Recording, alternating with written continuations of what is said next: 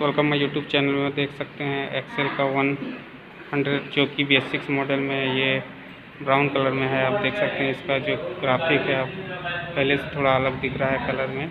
ये B six model है जो कि XL one hundred heavy duty इसका फुल रिव्यू मैं आपको दिखा रहा हूँ।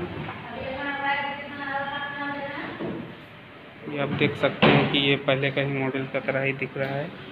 और ये ये इसका लोगो आप देख सकते हैं एक्सेल वन हंड्रेड हैवी डिप्टी टी वी एस में। इसका फुल रिव्यू मैं आपको दिखा रहा हूँ। ज़्यादा कुछ चेंजेस नहीं है, पहले ही की तरह है, खाली कलर इसका अलग दिख रहा है।